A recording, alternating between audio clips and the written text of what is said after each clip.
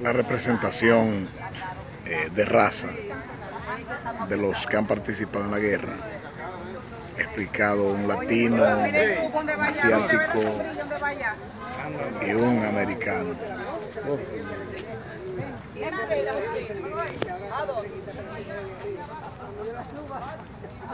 Cámara detrás de la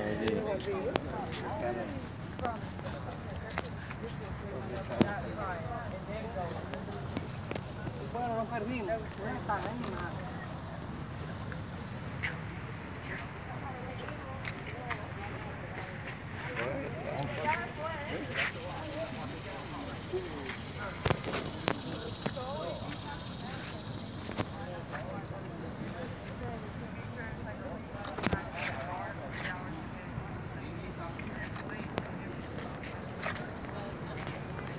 Seguimos.